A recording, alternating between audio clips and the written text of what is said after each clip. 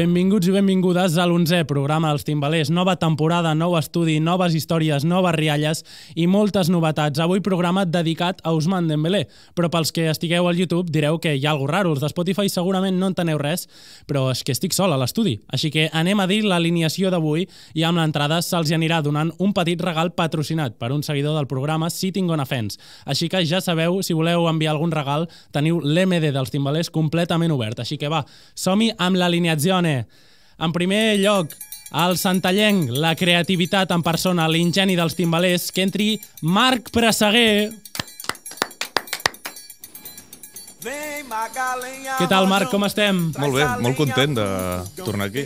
Ara tinc el regal entre mans, se m'ha parlat molt d'aquest regal i ganes d'obrir-lo, però esperaré els meus companys. En segon lloc, el hijo pródigo d'Horta, l'únic punt de vista realista que tenim als timbalers, perquè és l'únic que sap de futbol de veritat. Jan Díaz, com estem?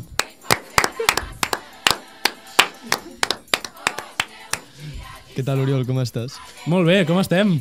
Molt bé, molt content de tornar a estar aquí. Jo crec, ara que estem els tres aquí, hauríem de demanar perdó, no? Perquè no ens vam despedir l'últim programa. Bueno, eh, hi ha vegades que posen poses coses que no podem controlar, llavors, perdó, però tornem a estar aquí. I estem els tres, falta algú o no? Eh, novetat? La nova incorporació, el fitxatge de la temporada, clausulazo limpio. Així que, a veure si amb ell va millor i no a pitjor. El col·laborador que passa fixa, que passi. El carisma en persona, les ulleres amb dues cames, Eduard Aguiran. El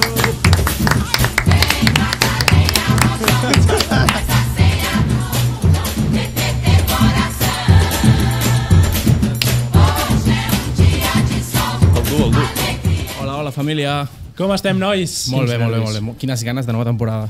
Jo crec, podeu anar obrint els regals, Ja, si voleu. així en sec. Així en sec. Cortita i al pie. Així que, mentre obriu els regals... Però peta la cinta en el Port Expand, tio. Bueno, ensenyeu, podeu anar ensenyant, recordeu, aquest any nou estudi, estem aquí a la Universitat Internacional i també donar gràcies, que no l'hem presentat, en Javi. Com estàs, Javi? Grande, El Javi. nostre tècnic.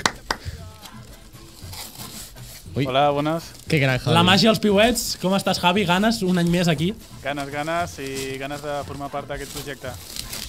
Així que no sé si teniu ja el regal per les mans. Podeu el ensenyar-lo podeu ensenyar-lo a la càmera, inclús algú es pot apropar. Què és més regal? Què és més regal? El que hi ha o el paper de bombolles? Eh, el meu regal ets tu, Marc. Oh. Eh, molt, eh? molt maco, eh? Que, que algú, que algú s'apropi que algú s'apropi a ensenyar-ho a si la càmera. l'aconsegueixo Oh. treure, jo... És molt maco. Molt sòlid, eh? Vaig jo, vaig jo. Oh, el tinc, el tinc. Vas tu? Ves tu, ves tu, Marc. És preciós. De, digueu què és mentre jo ho ensenyo? Què és, Jan? És una tassa espectacular, tonejada dels timbalers. I recordem-ho, regal de Sitting on a Fence. Jo encara no l'he tret del paper, la veritat. Bueno, nois, un cop ja tenim aquest, aquest petit obsequi de primera, de, de, per la primera temporada, no? Ara serà el capítol 11, perseguim lo dels jugadors, però ja estem a la segona temporada, realment. No sé, Marc, jo crec que em ve de gust tenir un petit flashback, un déjà vu, no? Què toca ara? Avui dediquem el programa número 11 a una persona que va portar el dorsal 11 al Barça. I, eh, bueno, els que estan a YouTube i a Spotify haurà llegit el títol. Així que avui dediquem el programa a Usman Dembélé Iribarne. Per la primera descripció citaré a Risto Stoikov que li va dedicar les següents paraules. 20 partidos completos de 4 años y medio. Mi època ni limpiabas botas. Deixant de banda això, jo sempre recordaré a l'Usman per quan es va casar amb la seva dona i els seus companys d'equip no sabien ni que tenia parella. El mosquit va enfadar l'afició del Barça ja que es va passar 108 partits lesionat. Tot i això, en Xavi li va donar una altra oportunitat i es va guanyar l'estima dels culers un altre cop.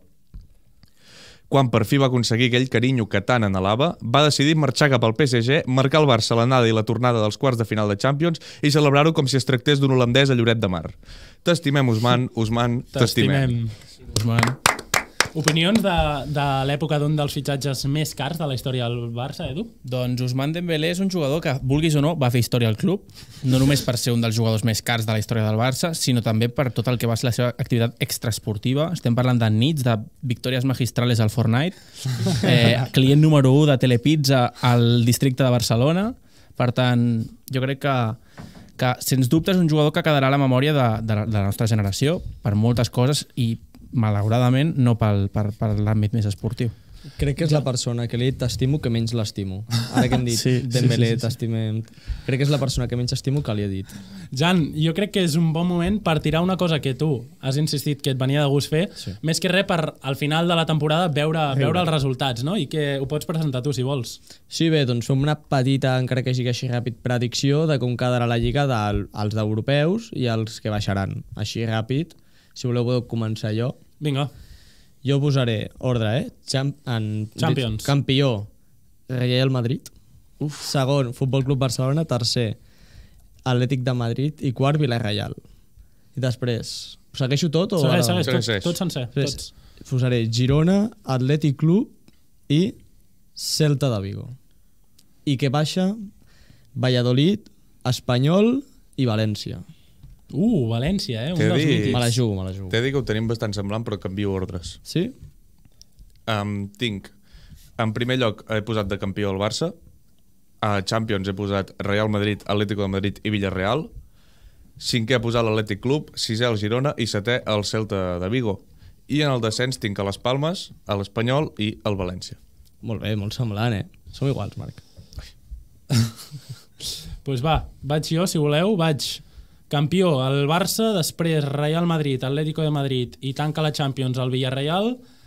Eh, en cinquena posició és, sí, el, la Real Societat, eh, el Villarreal quart, perdoneu, eh?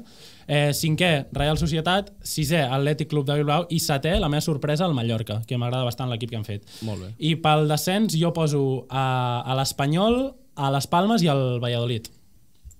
Edu? Doncs mira, jo uh, m'aparpo una mica el teu, però per mi, bueno, no tant en veritat, per mi el campió serà el Barcelona, evidentment.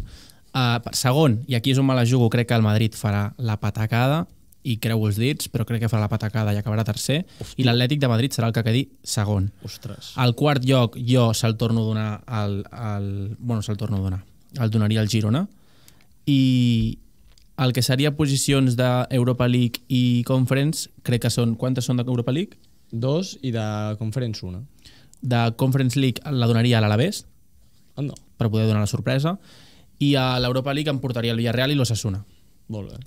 i el descens me la jugo amb un espanyol que no jugar-me-la amb el amb el, Que animal. amb el Getaf i el Valladolid, que tornarà a baixar també. El Getaf. El Vale, va, pues, nois, això... No, no, puc dir una cosa? digues, clar, clar. L'Edu ha agafat la classificació actual de la Lliga, ha canviat l'ordre dels tres primers i s'ha quedat trampa.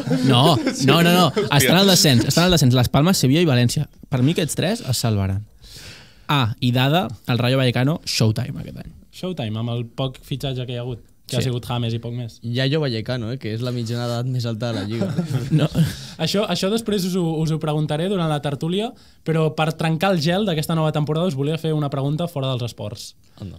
Què preferiríeu, viure sense colzes o sense genolls? la caríssima.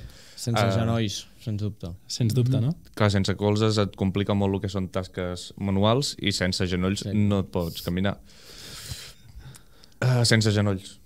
Jo també, Edu? No, sense... Sí, és que sense genolls. O sigui, caminaria molt raro, però... Bueno. És que sense, Prefereixo- colzes, prefereixo- sense colzes ets un Playmobil. Eh? Sí, tio, però caminar malament... Sí, bueno. Bueno, sense genolls caminaries com un Playmobil. També és veritat. No tenen ni colzes ni genolls. Per cert, si em podeu permetre, no hem fet una timbalada inicial. Eh? És veritat. Endavant, Jan. Ma, eh, espera, Jan, de fet, la faràs, però per passar a l'espai de tertúlia. Molt bé. I el primer tema d'avui, bueno, parlar una mica sobre el mercat culer, no? Us he portat alguns temes, a poc a poc eh, vaig dient i anem parlant, vale? no, no ens avancem. I el primer de tots és el tema Ilkay Gundogan. Jo, um, bé, jo el que penso d'Ilkay que és una persona que ha marxat per raons extraesportives, és a dir, no tant pel rendiment, suposo que està descontent amb el rendiment de l'equip perquè no es va guanyar res l'any passat, però crec que sobretot pel tema Hansi, pel que jo m'he informat.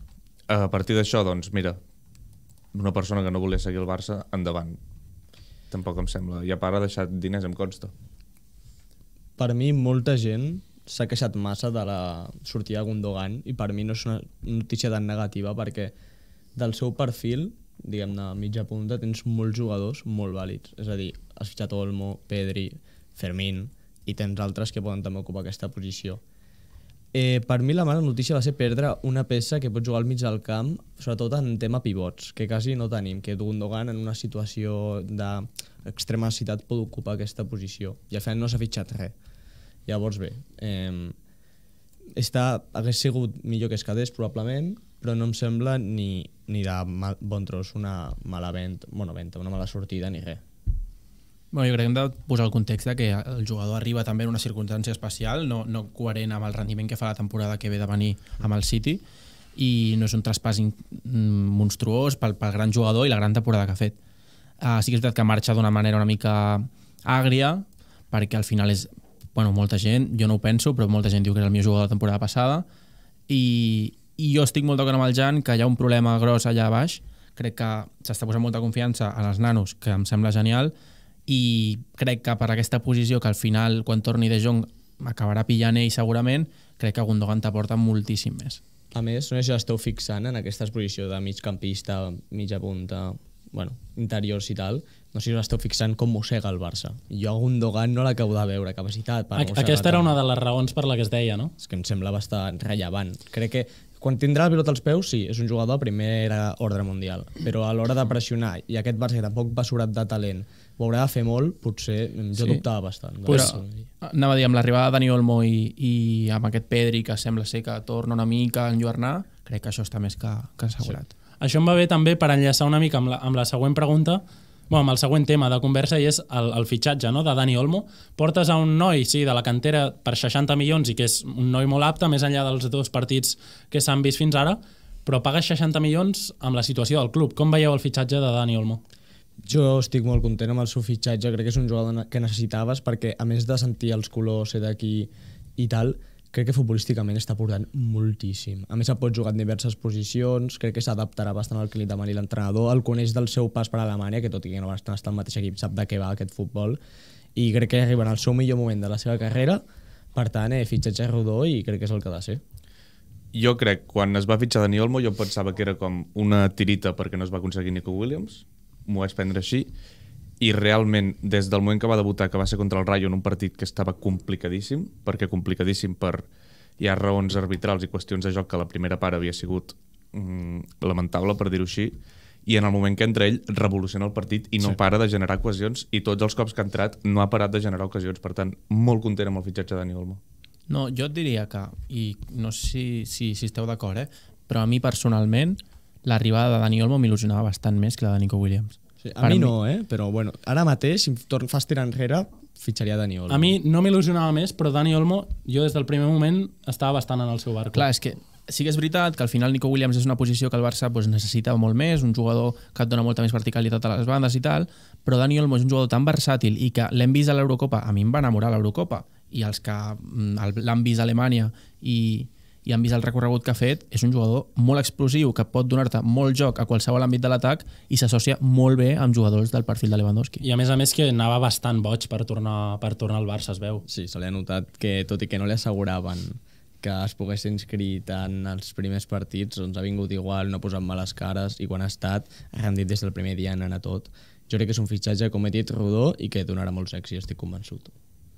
Bé, doncs també hem de parlar no, del que està sent potser el parxe d'aquest barco que va, va perdent aigua, és- la cantera, no? La cantera ara, veiem el cas de Marc Bernal i jo crec que, bueno, ahir justament el van, el van operar, va sortir prou bé, la- l'operació es veu, i 12 mesos de recuperació que té.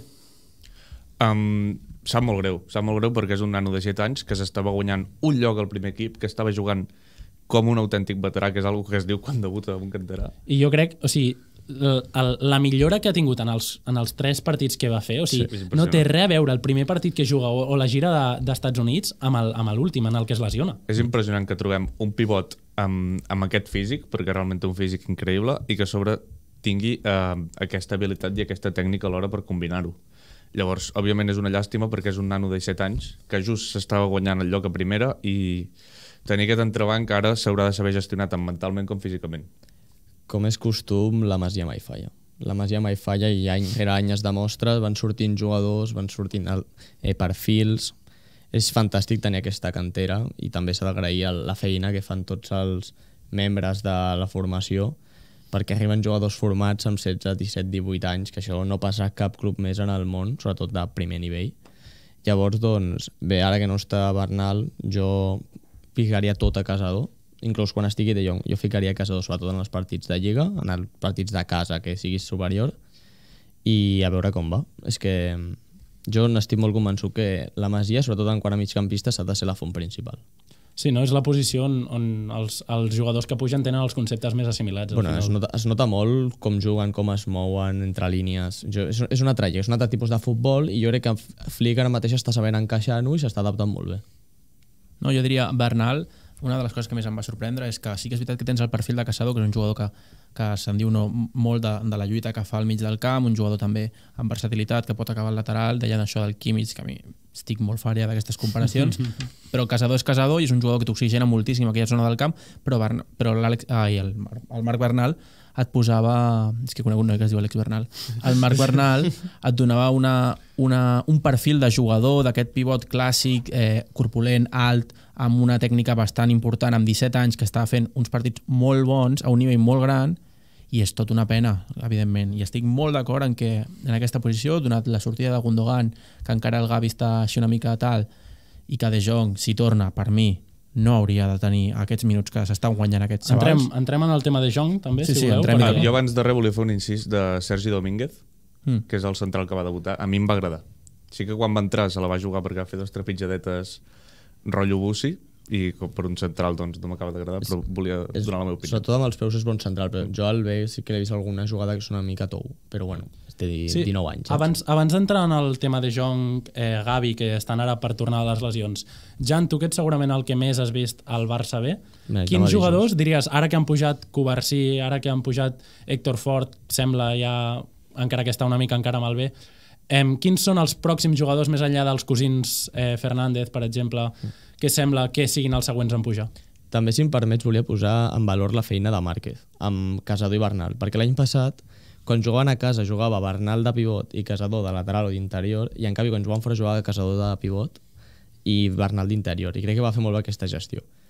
Eh, després, de jugadors... Que, és que pensa que el Barça B ara mateix una plantilla completament nova. Dels 11 titulars, 6, més o menys, 6 o 7, són juvenils. És una bogeria. Jugadors que puguin destacar, a mi m'agrada molt Andrés Cuenca, que és central a l'esquerra, ha sigut la parella de Covarsí molts anys, i és molt bo, molta, molta qualitat, tenint la pilota i m'agrada molt. El porter Diego Cochen, jo crec que pot ser el rei de Ter Stegen, crec que té aquest nivell. Altres, Pau Prim, que és pivot i mm. se li veu molt, que porta molts anys al Barça i té molta qualitat. I a dalt, els germans Fernández, ja ho hem dit, i a mi Unai m'encanta, ja estava l'any passat al B, marca un hack-trick al playoff, és un jugador que crec que també pot estar al primer equip perfectament. Bé, doncs, ara sí, Edu, De Jong hauria d'operar-se, sembla, han sortit diverses, diverses informacions, sembla que ell no es vol operar i en teoria el que, el que els entrenadors es pensaven i l'estaf que anava a tornar a postperon no, no torna encara. No. Eh, jo el tema de Jong i, i en estic ja una miqueta cansat i sent haver, havent estat jo una persona que ha defensat molt a De Jong per, pel tipus de jugador que és, pel que ens va enamorar tots quan va venir de l'Ajax i l'estil de jugador que significa per qualsevol persona que, que, que li agrada el joc del Barça. Però sí que és veritat que aquesta actitud eh, feble, freda, d'impassivitat davant, bueno, que li hem vist a les últimes temporades no em diu res. Un jugador que ha passat de, de ser dels millors del món en transicions de defensa-atac a ser un jugador més horitzontal que el Busquets de fa un any. O sigui, diu moltíssim d'un futbolista que encara és jove, que s'hagi adaptat a un joc tan, tan, tan eh, bueno, lineal, no? sense, sense aquelles arrencades que feia quan, quan va començar i va enamorar tota Europa. I no es vol, si no es vol operar, a mi em recorda una mica el cas d'un tití. Si no et vols operar i no, et vols, i no vols posar per davant el club, per mi ho sento molt, però porta. A més, que portes 5 mesos de lesió, et pots haver operat ja en tot aquest temps. Has estat sense fotre res, intentant fer, fer aquest, eh, aquesta mesura com molt de, de no sé, mostrar com de, de passivitat, com estàveu dient, i si parlem en tema futbolístic, jo l'acabo d'anar a l'equip, tinc dubtes, perquè de pivot posi- posicional a mi em costa veure'l, perquè si ens hem fixat, quan ha jugat Bernal, quan ha jugat Casador, és, la seva feina és molt eh, de trobar la pilota i després de pujar poc. Després, altres posicions, la de l'interior dret, que és el que ha jugat Casador, la que ha jugat Pedri, la que ha jugat Olmo, d'una mica d'anar i tornar, de, una, anar i tornar, venir, oferir-se, jo jo tampoc el veig aquí, per tant, se l'haurà de trobar cabuda perquè és el jugador amb, més, amb el sou més alt de la plantilla i realment té qualitat, però és que jo tinc molts dubtes ara mateix del seu estat físic, de, de la seva motivació i de futbolísticament com pot entrar. Bueno, doncs si De Jong finalment no, no renova ni, ni passa res, aquest any s'aniria lliure i per això vull entrar a parlar una mica dels objectius cara 2025 que Puc, ja han puc sonat. donar la meva opinió sobre en Frenkie? Sí, clar. um, no, volia dir, Frenkie de Jong és una persona que quan se'l va fitxar es pensava ja en que hi havia d'haver un canvi generacional i que ell havia de liderar aquest mig del camp. El que s'ha demostrat, ara que estem en ple canvi generacional, és que en De Jong no és un migcampista que es pugui fer càrrec del mig del camp. Partint d'aquest punt, eh, se li van posar unes esperances no pròpies d'ell, no l'estic defensant ni molt res, perquè al final em s'han donat les circumstàncies que s'han donat, però fa, recordo que fa dues temporades va arribar una oferta al United i cap d'aquesta taula el volia vendre. Mm, jo sí que l'hagués vengut per aquell Jo- preu. jo no el volia vendre. És més ell. El que... Jo no el volia vendre. No, Jo era defensor jo de Jong, eh? però per, crec que aquella pasta l'has d'agafar, La meva opinió ha canviat, et diria, en aquests mesos. sens dubte.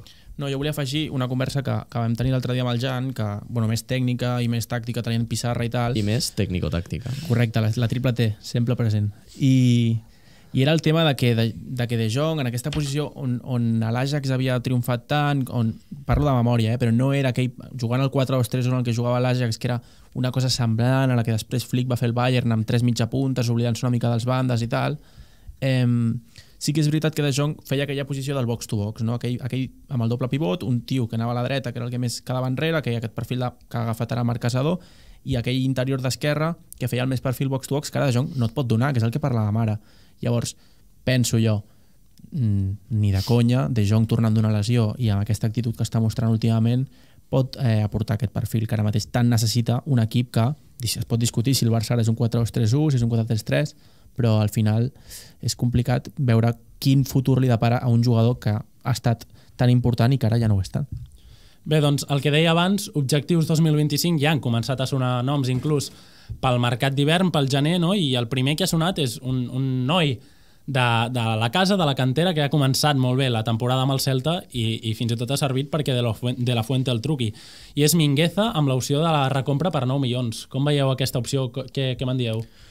Um, jo no el recompraria. Mingueza és un jugador que ara està demostrant un gran nivell al Celta, però crec que hi ha jugadors que per molt que siguin bons, en el Barça no funcionen. Pel que sigui, ja sigui factors del famós entorn del Barça, ja sigui factors de la pressió del club, ja sigui el que sigui, però hi, mm, hi ha jugadors que no estan fets pel Barça. Mingueza, molta gràcia pels partits que va servir, jo no el recompraria, la veritat. Jo estic d'acord amb el Marc, crec que és un jugador molt bo, supervàlid per primera, ens estava mostrant, inclús sent eh, creatiu a l'equip, que és el, el, el rol que està jugant, i crec que no li donaria per tenir aquest rol en el Barça. Per tant, eh, jo no el recompraria com a mínim aquesta temporada. Si de sobte seguís fent això i fot temporades increïbles, doncs per 9 milions, evidentment sí. Però bé, de moment no, perquè a més crec que de lateral dret, quan no estigui convidat a jugar Héctor Fort, perquè que és un jugador amb molta projecció, així que no, no el recompraria, tot i que bueno, és una opció que si la tens allà i un dia determinat et ve de gust, doncs no està malament. A mi el lateral dret sí que és un tema que em té una mica mosca perquè es diu això de que Héctor Fort no acaba d'agradar a Hansi, que hi ha una mica de, de, de tema allà, el tema de que, bueno, al final jo de Condé és un jugador que quan més quan, més, quan menys cridi l'atenció millor partit fa. I, i això és, és veritat. I sí que és veritat i, i anava a tirar un exemple que a Mingueza em recorda una mica el cas Marc Bartra Marc Bartra és un jugador que surt del Barça, que fa uns minuts bueno, bastant correctes, mmm, substitut de Piqué, no sé què, no sé quantos, té l'empastiflada padre amb el Gareth Bale, que recordarem tothom, i quan marxa Marc Bartra fa bones temporades al Dortmund. I després ha fet molt bones temporades al Betis. Sí. I no, el seu valor de mercat mai haurà pujat dels 15 a 10 milions d'euros. Vull dir, són jugadors que està molt bé, que fan bones temporades, però recordem, Òscar Mínguez està fent una bona temporada al Celta. Jo estic d'acord, per exemple, jo crec que s'ha comprovat amb Bellerín, Oriol Romeu. Eh, són jugadors molt bons de que a un equip de, inclús Europa League tal, poden donar un rendiment boníssim, però que crec que no tenen el nivell per venir al Barça. Potser, en un, com són de la casa, en un cas concret de suplent, d'algú, si els treus molt baratos, això no em semblaria malament, però com a esperança de ser titular i ser un jugador important, jo no els veig. Però és o nivell Barça o que és el que dit jo, pel que sigui, no en, vull dir, són un engranatge que no encaixa a la maquinària, per dir-ho així. I potser en un altre sí que encaixa. No, per exemple, Mingueza al, Mingueza al Girona. Encaixaria perfecte. Potser encaixaria. O és que Oriol Romeu s'ha demostrat de que... Per això, per això. No, és que, pel que sigui no va encaixar en el Barça. Tot i que va fer una molt bona pretemporada, Oriol Romeu. a més, Mingueza, ara mateix, és, el, és aquest perfil de lateral que agrada un munt a molts entrenadors d'Europa. Aquest lateral que és un central reconvertit, que pots fer aquesta balança, no? Molts equips tenen aquest, aquest com se li diu això, els laterals eh, escalats, no sé, tenen, tenen noms però un lateral molt més obert que l'altre, molta més arribada, i un altre que arriba a tancar amb la línia de 3, això Ah, està molt de un, Hi ha moda. un lateral invertit o un Sí, lateral correcte. ofensiu. Sí, L'altre dia vaig veure el partit contra el Villarreal. Mingueza al final del partit està jugant de central dret Sí, i estava que- de mitja punta esquerra. Sí, eh? sí, sí, no té Juro. sentit, no té sentit. O sigui, al final a- aquest any ha acabat jugant, bueno, i acabarà jugant de moltes més coses que central i lateral. Però perquè, segur. perquè, torno a dir-ho, és el Celta. Sí. Va, doncs altres noms que han sonat ja i el primer d'ells és Jonathan Tah, un jugador que al Bayer Leverkusen acaba contracte el 2025 i ja ha anunciat ell, ell, ell mateix ha dit que no renovarà. Aviam, és un, és un molt bon jugador. Però, És un tronc de manual, eh? però ja a camp obert, ojo, com dius tu, però ha tingut desconnexions molt heavies al llarg de la seva carrera, per tant, crec que si el pots treure a l'hivern molt barat o gratis, Gratis a final o d'any. sigui, molt bé. Sí. Eh, Molt bon jugador, en plan, et pot donar bon rendiment, és, el coneix Flick d'Alemanya, mm, veurem. Però per pagar, pagar i fer una inversió en ell jo no el veig. Si ve gratis o quasi gratis a l'hivern, t'ho compro. Jo crec que el seu fitxatge es mm, basarà depenent del sou que vulgui, Sí. òbviament. Amb jugar al Barça sempre Ja. Hi ha la frase de que el Barça sempre et dona més del que tu li pots donar al Barça i penso que Jonathan Tah pot aportar, he vist poca cosa de Jonathan Tah, no us mentiré, crec que és un central mm, bastant físic i a partir d'aquí és cosa, jo crec que sempre a fitxatge se li ha de preguntar a l'entrenador si el voldria. Jo és que el que em valora és de vendre Araujo i fitxar un perfil així. És el que m'olora. Però Araujo ara mateix té el mateix valor que tenia fa un any? No, però si l'any que ve el vens val 60 milions a un any cada que va contracte, doncs no estarà malament. Sí. És, és el que m'olora, eh? A, a mi no em faria sé. mal Araujo, eh? Ja, a mi també, però t'estic dient del que... La, la, no sé, la- l'instint que tinc, no sé, és la, és la sensació. És un cas també a tractar, eh, el de Ronald Araujo, però sí que és veritat que per mi el perfil Jonathan Tah, tot i ser un jugador més corpulent, més físic, Araujo té moltíssimes... Bueno, ha desenvolupat moltíssimes més capacitats al llarg del temps. Sí que és veritat que al principi podia ser un central més d'aquest estil, però a mi Jonathan Tah em recorda un central molt més de l'estil Samu Umtiti quan arriba, un jugador perfil eh, de bloc baix, que és fluix a la carrera, que potser en un partit amb espais de Champions te la pot liar grossa. I no oblidem que juguen una defensa de 3. Exacte. És, és un altre estil completament diferent. A mi és un jugador que, com dius tu, eh, si ve a preu molt assequible o zero, cost zero, per mi ha encantat de la vida. I finalment, l'últim nom que porto, un nom d'un jugador que fa temps ja que sona, aquí, a, a Flick li encantaria segur, i, i per les posicions actuals que té el Barça li aniria bé, fins i tot, i és el cas de Xoxo Kimmich, que, mm. també, que també acaba contracte. Ha, ha sonat molts cops Kimmich pel Barça. Um, no sé què dir-te de Joshua Kimmich. Desconec la seva situació de contracte. Acaba contracte Acaba any. contracte. Sí. Um, el seu valor i és el mateix, el sou que estaria disposat i la disponibilitat que li donaria Hansi Flick. Crec que sol, és el que s'hauria de mirar sempre que es fa un fitxatge. Jo el portaria, no tinc cap mena de dubte. Sens dubte, no? Sí. I em trauria De Jong. O sigui, per mi seria l'escenari ideal, bàsicament perquè Kimmich, a més, el, et pot donar moltes més solucions. No t'estic parlant del dia que falta un lateral dret, un lateral dret posar-lo. T'estic dient el dia que vulguis tenir superioritat al migcampista, si ho vols fer amb el lateral incorporant-se, ostres, eh, Kimmich és perfecte en això. Inclús fent d'interior, inclús una mentalitat de guanyador. També crec que aportaria molt, així que jo, sense cap mena de dubte, li donaria suport. Bé, doncs anem ara a, a tanquem una mica l'espai Barça, per dir-ho així, i anem a parlar d'alguns dels altres equips, sobretot un dels equips que aquest inici se n'ha parlat més, el Real Madrid, dels 12 punts possibles, n'han perdut eh, alguns amb empats. Sí, eh, bueno, crec que el Madrid ha de trobar el seu nou ecosistema. S'està acostumant a no tenir a Kroos i tenir més, més xitxa a dalt. No li, no li ha sortit tenir els quatre bons a dalt perquè al final crec que fa, falta com portar-los la pilota a ells i que després acabin d'afinar.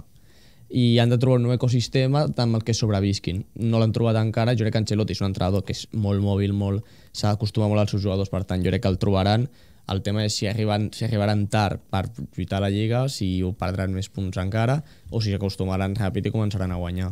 I el tema també és la tendència que justament tots aquests jugadors de dalt tenen a, anar cap a la banda esquerra, no? Sí. O sigui, es va veure una, una imatge on acaben tots pràcticament en el mateix espai i és que Mbappé és extrema, esqui- no deixa de ser extrema esquerra. Rodrigo, la seva posició natural és extrema esquerra. Vinicius també, i al final Bellingham és un mitja punta Que cau més a l'esquerra. que cau més a l'esquerra i, i aquest any l'has de reconvertir una mica més interior pur, no?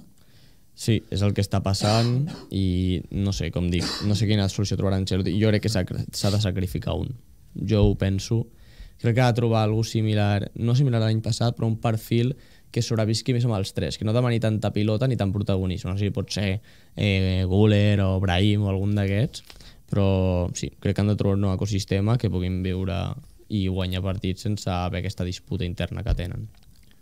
El tema és que uh, tàcticament el Madrid ha perdut una figura molt important, que és la del... Bueno, això que se li diu famosament al, al De Jong també se li dèiem, que era el transport de mercancies, no? la, la càrrega i descàrrega. Bueno, un jugador... que tu feien passes, no? Amb... Sí, no, no, Clar, no passa, que, passa que el cross es plantava des de mm, tres quarts propi i també hi havia una bola a l'esquena del davanter. Sí. O sigui, una qualitat bestial, un futbolista que farà molt de mal. Estem, per mi, jo crec que és una recuperació de, de jugador semblant a la que el Barça està patint amb, amb la figura de Sergio Busquets i al final em penso jo que clar, mm, no tens jugadors al mig del camp com per reconstruir aquesta figura que tenia el Madrid amb Toni Kroos. Crec que s'està apostant tot a dalt a que si tens molts jugadors a dalt marcaran molts gols i les coses no van així un equip necessita un, un, fer aquestes transicions d'una manera adequada. El Madrid viu del contraatac al final.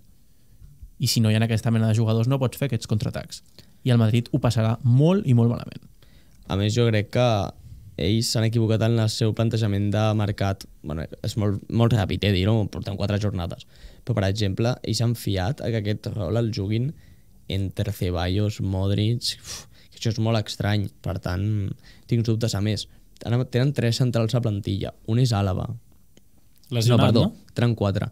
Vallejo, que ningú sap on està. Està lesionat ara mateix. Àlava, que també està També lesionat. està lesionat. I Militao s'ha lesionat. O sigui, hauran de jugar Rudiger en Chouameni. O sigui, ser un altre migcampista i, i Camavinga està lesionat. No sé, jo tinc dubtes en Sí, quant sí. a això. Jo eh, vull recalcar sobretot el que has dit tu, de que porten quatre jornades. Sí, sí, que, sí, que sens jo recordi, és, us he dit avui al principi, el que és la MSN, que recordem com el millor trident que hem vist i probablement per mi és el millor trident de la història, l'MSN, um, al principi tampoc acaba d'encaixar, si no recordo jo malament. Llavors, vull dir, temps al temps i que és el Madrid i s'ha de tenir sempre un, un respecte i que jo crec que tenint tres jugadors d'una qualitat, quatre si contem també Bellingham al mig del camp o de mitja punta, d'una qualitat bestial, doncs és complicat que no et funcioni. Sí, o sigui, n'estic totalment d'acord. Acollona. O sigui, tu veus el Madrid amb aquests tios Sí, sí, sí. sí. acollona moltíssim, moltíssim, moltíssim. Però eh, no, mm, és diferent, em penso, perquè al final l'MSN se'n parla molt, però el mig camp d'aquell Barça era una locura. Eh? Ja, ja. Era molt bèstia. Ivan Rakitic, eh? I tenies el Rakitic. És que era molt, molt, molt important. A tot això li afegim que mm, el Madrid està jugant amb Mbappé a la punta, Bellingham, Vinicius, Rodrigo... És molt complicat que un equip amb tants jugadors a dalt... O sigui, al final és com si tècnicament estiguéssim veient un 4-2-4. Sí, perquè... És una cosa molt estranya de veure, molt, més, molt estranya. Els que juguen al mig, que són, en el cas de jugant, eh, que són Chouameni i Valverde, Valverde jo crec que és més ímpetu que tècnica. Que No, pot no, jugar un no rol que és bo, eh? és boníssim, però amb complements. I Chouameni, a mi ens deixa molts dubtes. I no ens oblidem del que va pagar el Madrid per Chouameni. 80 milions més 20 en variables. Eh? Hòstia. I si et tiro un hot take, Ojo, ojo el pal. Compte. per mi dels quatre de dalt, el que caurà Vinicius. serà Rodrigo. Oh. Sí, serà Rodrigo. Bueno, heu vist les Ei. seves declaracions? Sí, sí, a part per És el que- de WhatsApp, una història així, els WhatsApps aquests que hi ha ara. Eh, Jo no he vist, no he vist em poseu el dia amb això. Ah, bueno, va fer un grup de WhatsApp de que faltava la R de Rodrigo, no sé què, van lo del tridente. Però l'altre dia, avui, ahir, abans d'ahir o ahir, o ahir, va donar unes declaracions a Brasil dient bueno, estoy un poco ofuscado porque siempre que falta alguien, Rodrigo. Eh, falta un 9, Rodrigo. I Com- que no el com tenen dient tant que és el comodín. Sí. És que jo l'entenc. O sigui, en situació normal, el que caurà serà Rodrigo. Per mi em posaria molt calent que sortís Vinícius. Moltíssim. Moltíssim. No sortirà, que no sortirà. Ja, però, Però- No, no em semblaria una barbaritat, i més amb les declaracions polèmiques del Mundial que va dir fa poc. Quin eh? mal ha fet això per allà, Sí, eh? això ara a Madrid, Ja, a ja Madrid veuràs quan el vegin Carvajal, eh? A Ma- bueno, ja, ja el va contestar, però això a Madrid ha picat molt. I a més veníem d'uns rumors que això són els típics, que això a més és, és escola Cristiano Ronaldo, que ja ho feien al seu dia, que era els rumors de m'ha arribat una oferta al City de no sé què, no sé quantos, i era per, per pillar pasta a Florentino. I això no li agrada gens al Florentino, eh? No li agrada gens, ho recordem, Però eh? vosaltres creu que Vinicius és mala persona? No, No, el ho sé, però jo crec que té menys llums No com el el conec. És que jo crec que és això. Sí, jo jo crec que... que. I està molt malament aconsellat. S'ha No, muntat, s'ha muntat un, un ecosistema que se l'ha interioritzat moltíssim. Bueno, i han fet que se'l cregui, que s'ho cregui per ell, això també. és que i s'ha alimentat una bombolla que hi és a dins i és com el món contra ell. Sí, Ell ho té així. Acabo el hot take. Sí, Acaba, acaba. acaba, acaba. Si Rodrigo surt, jo el voldria. Home, El Barça? sí, jo també. doncs, jo Vale, no. jo us volia fer una pregunta, vale? No, no, us l'anava a fer abans de que diguessis això, Edu, però jo us anava a preguntar, sent el City, que per exemple és l'equip que més ha sonat, segur que acabaria el City o el, o el United o Un alguna top així, europeu. quan pagaríeu per Rodrigo? El Madrid demanaria més de 100, segur. Jo més de 70 no et pago. Jo crec. que no, no, no, si que tampoc. deman... Jo no, no, que un no et pago no ho 90 paga? milions per Rodrigo, no. Però tu creus que el, un anglès no ho paga? Sí, bueno, sí. Han pagat I, i, un, i, un, 120 per Enzo. I un jeque encara més topador. això és el que demanaria el Madrid. sí, sí totalment. I, eh, i jo el vendria, eh? Per Home, 100 sí, sí, i alguna més. eh? A Rodrigo. És que jo crec que li poden vuit- i per donar, 80. eh? Però eh, què li poden donar? Jo crec que sí. Sí, eh? sí, sí, a Rodrigo, fàcilment. el... Bueno, és que clar, el Chelsea ja està molt fotut. Un United O sigui, ja no- ja no li colen ningú. El, el al Chelsea, Chelsea. quan pot inscriure jugadors? Al Chelsea ja no li cola ninguna. En plan, Fi- fins, a no- quan, fins a quan pot inscriure el Chelsea? Clar, ja no és que no li colin jugadors al Chelsea per... Jo crec que aniré entrant a fer toques a la ciutat esportiva algun dia. és que... I jo crec que cola, eh? Pan- Jo, crec que et presentes allà a fer tocs i ningú se n'adona. No, algun dia, I que estigui, amb ells. algun dia que estigui malalt Marc Guiu, dius que ets ell. Segur que no el coneixen, encara. Amb 20 centímetres menys. Buah, valia una al Marc Guiu l'altre dia, el va veure? Sí, va fallar una claríssima. Sí. No, ni no el van convocar al següent partit. Pobret. Bueno, va, anem, anem amb el següent tema que volia parlar una mica ja, és l'últim l'últim tema de la tertúlia, és el mercat del Girona, no? Jugadors com Abel Ruiz, com Brian Hill, Alejandro... No, perdona. Eh, bueno, jugadors perden a 5 dels titulars de l'any passat, Sí. van intentar-ho Mèric Garcia fins l'últim dia, no és així, i al final jo crec que acaben aconseguint més profunditat, però jugadors de menys categoria. Què en penseu vosaltres? A mi m'ha agradat molt la plantilla del Girona, el mercat de fitxatges que han fet. A veure, és que pensem que sí, juguen Champions, però és el Girona, eh? I tampoc han ingressat tants diners, perquè com molts eren cedits i tal, excepte Dovic, Dovic sí que han ingressat, crec que han fet un, marc, un mercat molt bo, amb oportunitats de mercat com Danjuma, fitxatges de segona com Francesc, que és bon jugador. Aquest és el que volia dir jo, Ah, Alejandro vale. Francés. Però dic, no sé si és fitxatge d'aquest any, el, cre sincerament. el Krejci aquest que és central diuen que ho va fer molt bé a Eurocopa jo el vaig veure poc, diuen que bé Oriol Romeu una gran Misehoui. oportunitat el Misehoui aquest va marcar eh, no sé, per exemple El, el davanter aquest, que és una mica Sí, que l'intent de el que és Dopic, a veure. Ah, si sí, el. Miosic, no? Miosic. Sí, no sé. Jo crec que té, té moltes opcions Mitchell i un, un entrenador al seu nivell segur que troba moltes opcions per a inculcar jugadors al seu futbol. Per tant, jo crec que molt bé el mercat del Girona. Jo volia destacar sobretot el de Dopic, que tu has dit, la majoria són cedits, vull dir, òbviament Savinho, el City l'anava a treure, ho sabíem des de A més, no l'octubre. han vist un euro, perquè com sí. estava al Troa, Ja, és que... I jo vull destacar l'operació d'Obic, que és un jugador que es fitxa per 7 milions i se'l ven per 30. Sí, Em sí, sembla en un perfecte. any, eh? I jo crec que si haguessin esperat altres ofertes podrien haver tret més. L'Atlético estava interessat. Sí. Jo crec que l'Atlético li podria haver rascat fins a quasi 50. Mm, no ho sé. Jo crec que 40 i alguna li rasques. També dic Dovi, crec que no està fent real. Eh? O sigui, no ho veig clar. Però bueno, també crec que té mèrit haver han mantingut a Sigankov, a Ivan, a Yangel, que són molt bons jugadors. I jo, si algú té dubte, és eh, Abel. Abel, bueno, crec que és un perfil de- d'un entrenador molt de... Mm, fa molt bé tot el que no es veu, saps? És, és que és un davanter que no és un davanter golejador. I això que a la, saps? a la Masia fotia uns gols, però una borrada, eh, per temporada. No, jo volia afegir que el projecte del Girona em sembla que tenia en compte el precedent de l'any passat de que, uh, entres a Champions, se van totes les estrelles, tot apuntava al típic eh, one hit man, tipus, se n'anaven a Sí, esfonçar, sí, sí. I crec que ho han salvat molt, molt, molt bé. Han, han estat realistes i han dit la plantilla que teníem l'any passat, que era de nivell de poder arribar a competir Champions, mm. ens costarà mantenir-la, mm. i han apostat per un projecte que, a més de salvar els plats, aposta pel futur. Clar, és a no. dir, continuista amb la línia que s'havia treballat l'any passat i amb jugadors de cara al futur. I Abel Ruiz, deies ara que el Barça s'havia inflat a gols, amb la sub-21, quan estava al de la Fuente, també va fer grandíssims partits. Mm. És un jugador molt, molt, molt complet que ha estat allà a Portugal, que tampoc ha tingut grans temporades, però, però és interessant. La clau crec que és tenir una direcció clara i anar cap allà amb tot. Crec que és el que han fet. Per exemple, l'Espanyol han anat- un d'aquí, un d'allà. I a última hora, quasi Clar, tot. el Girona no. El Girona ha tingut clar una direcció i ho ha fet bé.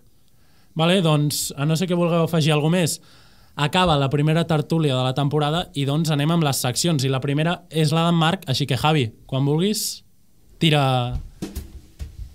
La pataca dins la mitja.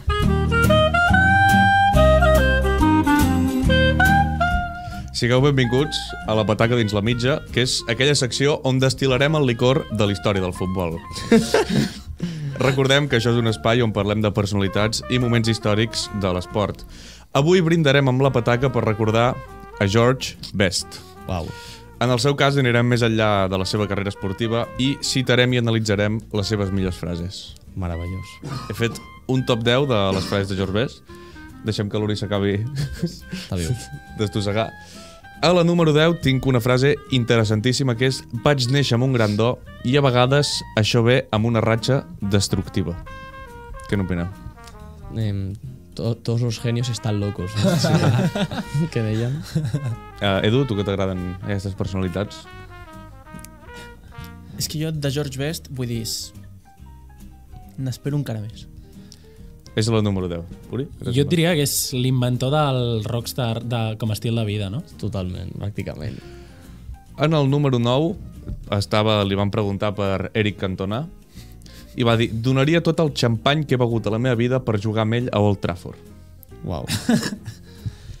és que, a aviam, Més, estem parlant de més de dos i de tres camions, eh? xampany, segurament. pensava que n'has a dir tonelades. Camions. A la número 8, primer ha parlat de Cantona, ara parlava de David Beckham i va dir no pot rematar amb l'esquerra, no pot rematar de cap, no entra a robar pilot, a pilotes i no marca molts gols. A part d'això, està bé. Què n'opineu d'això? Perquè és- una llegenda del United, parlar d'un altre i realment desmuntar-lo. Lluita d'egos al final, no? bueno, jo crec que és molt de futbolista antic eh, ell dir que és millor que la resta dels nous, per tant, bé, està bé. Però amb, les de Best, perquè les veurem després, són més les que parla d'ell, les que m'agraden. A la número 7 tenia mai sortia pel matí amb l'intenció d'emborratxar-me. Només succeïa. Bueno, una mica l'Edu cada dijous, no? L'alcohol no va... Tu no vas a l'alcohol, l'alcohol va a tu. Exacte, ell, ell es llevava i trobava una cervesa a la A toleta. més, al matí. Mai sortia pel matí. Des, després No és que entreno. digui, no és que digui, bueno, jo és que no surto per la nit. Passa. No, no, al matí. De fet, a part d'això, um, es diu del Loco Gatti, que ell, ell Bueno, guardava, person, guardava també. una pataca al costat del pal. I darrere, del, i darrere ju- de la cadira del xiringuito jugava, també. jugava begut. La va matar. Va matar. El número 6, jo crec que és molt bona aquesta, que és cada cop que entro a un lloc hi han 60 persones que em volen convidar a veure i jo no sé dir que no. Una persona agraïda, no? Al Sí, final. al final és una persona generosa, És que educada. és lleig dir que no. Clar. Tu ets igual, no? Sí. és l'aportació. El número 5, a mi m'encanta aquesta, que és tenia una casa a la costa, però per anar a la platja havia de passar per un bar. Mai em vaig banyar. Aquesta va vist de les millors. Molt top. Molt, molt top. És que era un personatge com Estem pocs. parlant de Sitges? Estem parlant de Sitges, El carrer del pecat. És una persona així, que té aquesta addicció amb pasta, és que és incontrolable. A la número 4 tinc vaig gastar molts diners en cotxes, dones i alcohol. La resta simplement els vaig malgastar. Aquesta, aquesta és la meva preferida. El que és bèstia és que ho reconegui tan ample. Aquesta és la meva preferida, perquè l'he escoltat a tants llocs. És que és increïble. Eh, però et dic una cosa, va morir jove, però el tio no es va deixar una merda per viure, eh? No, no, no. S'ho va gastar tot. A la número 3 a mi també m'encanta aquesta, que és l'any 1969 vaig deixar les dones i la beguda. Van ser els pitjors 20 minuts de la meva vida. És que era un personatge. Simplement George Best. Sí, a mi m'agrada molts cops que passen al món del futbol, que és que els futbolistes passen de persona a personatge. Sí. Jo crec que li ha passat a George Best i un perfil molt diferent que l'ha passat, que no és futbolista, és el de Joep Lluís Núñez. Home, Va passar molt a personatge. totalment. Al número segon coneixerem a, el George més sentimental, més profund, Vale. que diu la meva meta ha sigut que el meu pare pensés que sóc el millor. I ho pensa. Molt bé, molt maco, això. Molt maco, George Best, per això he volgut recordar, perquè si no els top alts són tot de També l'alcohol. et dic que és curiós que tant rockstar i sigui anglès. No, és d'Irlanda del Nord. Vale, ja està. Sí, ja està. Vale, no, no, ja està, ja està. Dubte Sí, resolt. ja està, ja està. La número 1 Tranquil. per mi és però la millor amb diferència que és si jo hagués nascut lleig, no hauríeu sentit parlar d'en Pelé. Vaya leyenda. Per mi, igualment, la, la millor et diria que són la dels 20 minuts, eh? Sí. A mi- a mi m'encanta Sí, és aquesta. molt impactant. Com el gira, està argumentada perfecte. perfecte. Sintàcticament és... A mi, a mi m'encanta aquesta, perquè és, jo perquè no he volgut, no he sigut millor que en Pelé. Una persona que té tres mundials. Bueno, Seguits. Sí, no seguits, no. El Bueno, carbassat amb pel 17 capot. Sí, i bueno, fins aquí la Molt pataca dins la mitja. Doncs fins aquí la primera pataca dins la mitja i ara podem anar amb la secció d'en Jan. La secció d'en Jan. Molt bé, doncs, novetat d'aquesta temporada. Porto un 1 per 1 del Barça d'aquestes quatre primeres jornades. No té cap temàtica concreta, simplement fer una mica la broma i ja veureu. És bastant divertit, així que comencem amb l'1 per 1, si et sembla, Oriol. Em sembla molt bé. Marc-André Ter Stegen. Clínica capilar. Com el seu cabell, el capità mai cau. Jules Koundé. El nen cebolleta que ha fet un glow up. Abans, Literalment tu, eh? abans era inclús desagradable veure'l, però ara fa goig, en part per la seva nova actitud. Pau Covarsí. El niño trompeta. Xiula tan bé com defensa. Íñigo Martínez. L'amic del teu pare que sempre et fot cops a l'esquena. Literal, és aquest perfil, eh? Ha sigut el seu millor highlight en les quatre primeres jornades. Alejandro Valde. La recompensa. Puja com un dimoni. Marc Casador. El nen que li fot un pelotazo a una avi al cap a la platja. Potser no és un festilista, però ho posa tot sobre el camp. Pedri. Preservatiu. Com es trenqui, prendrem mal. Dani Olmo. Cinta elàstica, la que li ha posat a la boca a tots els que criticaven el seu fitxatge. Rafael Díaz Rafinha. Jesucrist. Ha necessitat dos anys en comptes de tres dies, però al final ha ressuscitat. Lamin Yamal. L'amor de la meva vida.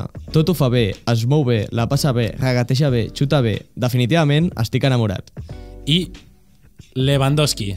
El whisky de fa 36 anys del teu avi. Quan penses que tot estava perdut i havies de pagar un nou whisky, trobes aquest que et fa la nit.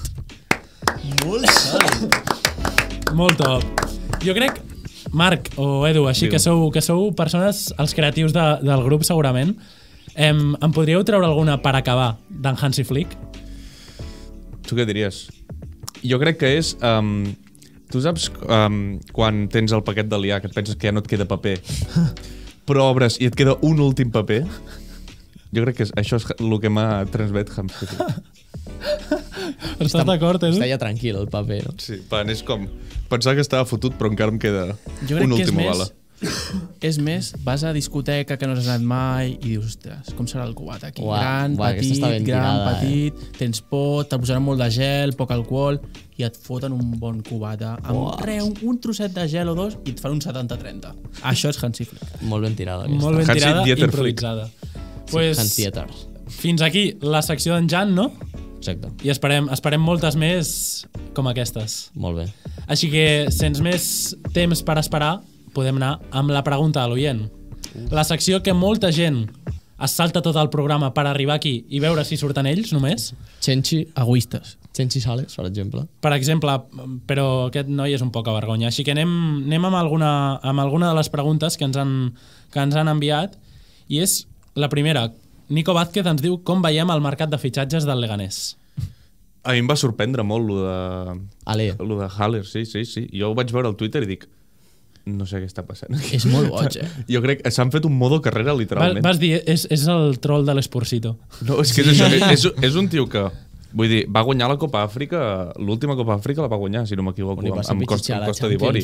No? I que Sí, en, sí. en el Dortmund no ha fet males temporades, em consta. Vull dir, No, però com va tenir la, el càncer. Sí, és això, se va complicar per temes de salut.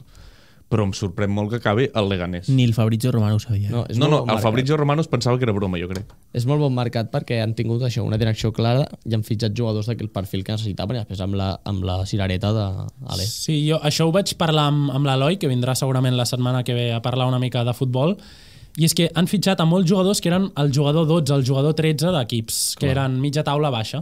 Mm. I doncs al final acabes fent un equip Molt molt, equip, compensat, sí. amb tampoc gastant una barbaritat. Jugadors com Oscar Gil, jugadors com Juan Cruz, I lliures. I lliures. Munir. A mi hi havia un que m'agradava molt, que era l'Arnaiz. Us recordeu Sí, de l'Arnaiz, aquell que havia jugat al sí. Barça, que ens havia salvat la Copa del Rei, Sí. el Seixantanino, o l'han o l'han No, ho sé si aquest any... No ho sé. Anem amb la següent pregunta i és que Xavi Hidalgo ens pregunta quants partits jugarà en Sofati? Es lesionarà de nou? Què penseu vosaltres? Quin, quin paper creieu que pot tenir aquest any? És que jo crec que hi ha tants partits durant l'any que si no es lesiona jugarà. Acabarà jugant, no sé quin rendiment, però acabarà jugant. A part, a Hansi li agradava abans. Mm. Això deien.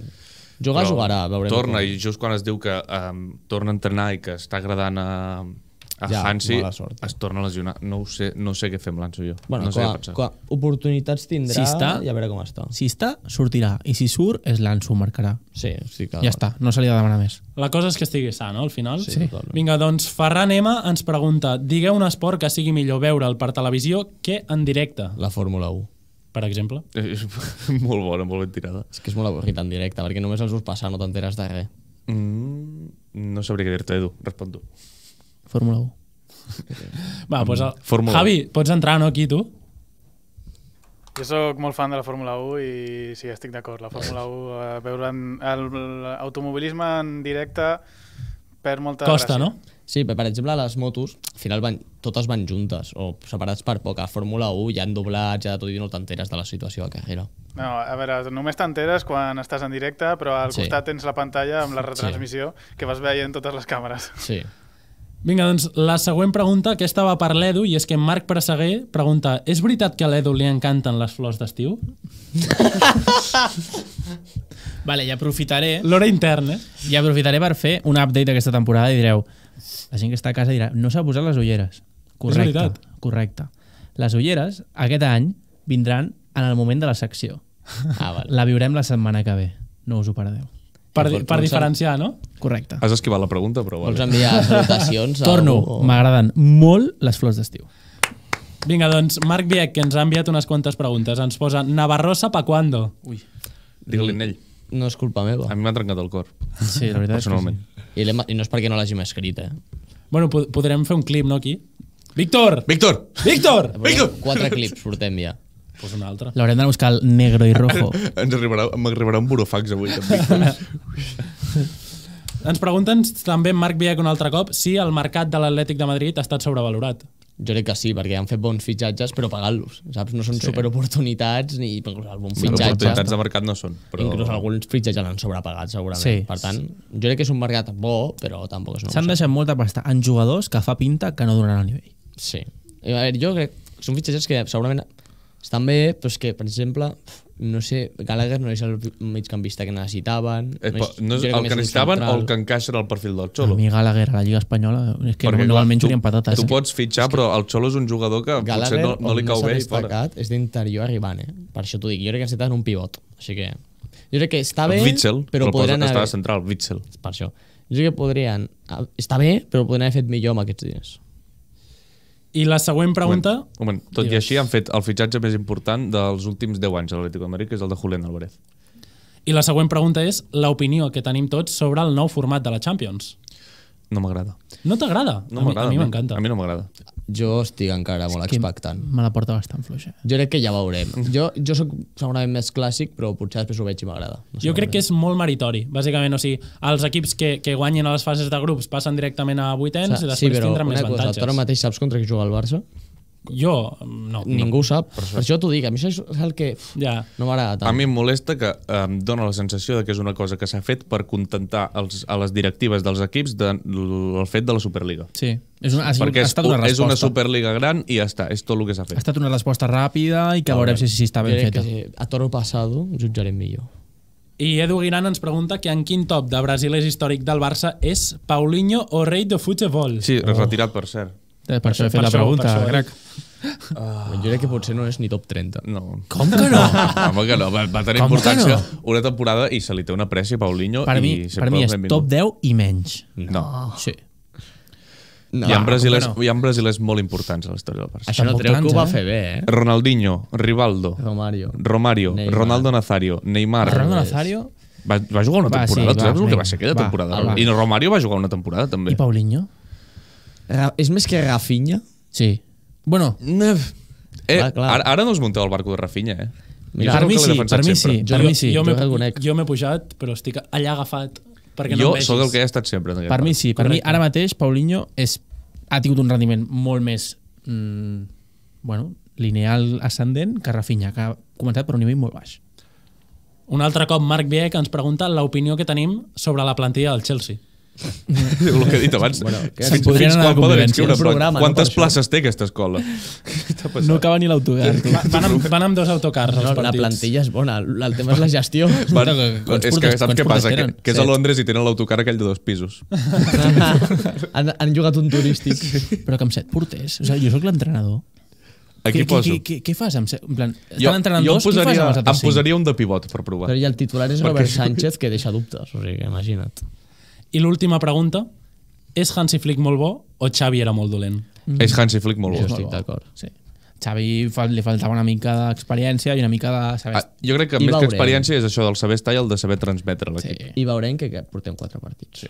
Però de moment, Hansi... No, es nota que és un entrenador consolidat, amb experiència a Europa. Ara mateix l'estimo més que algun familiar, Hansi Flick. A mi m'agrada molt el seu tarannà, si hagués de dir alguna cosa. Tarannà autoritari. Autoritari, calmat, m'agrada. Monarquia absoluta. Em, em dóna aquesta sensació. I una dinàmica que vull implementar per aquest any, ara sí ja per tancar, és dir l'MVP del programa. Oh. I més enllà de nosaltres, avui també podria estar nominat en Javi, Javi. que avui ha entrat i no havia entrat en tota la primera temporada, si no m'equivoco. Correcte. Un altre podria ser, no sé, en Marc Vieck, que ens ha enviat un, una pila de preguntes. Jo, jo el diré en ell perquè crec que se li ha acabat la bateria del mòbil. Has, has, has, has obert el mòbil tu i vist quantes preguntes ens ha No, enviat? no, no, però és que n'has llegit no sé quantes. I moltes més que hi haurien d'haver. Amb qui el coneix, en ell? Jo, jo. És amic Perfecte. Um, Molt simpàtic. probablement et bloquejarem amb la compte dels timbalers. Si estàs- meu. Doncs MVP del primer programa, Usman Dembélé, Marc Vieck, us sembla bé? sí, Tot jo, els jo el ous. voto en ell. Pues fins aquí, a l'onzè És, programa... és el que més ha treballat. Sí, quatre ja t'ho dic jo. Fins aquí l'onzè programa als Timbalers. Moltes gràcies. Ens escoltareu cada dimarts o dimecres. Anirem canviant durant, durant aquesta temporada. Així que moltes gràcies i fins la setmana que ve!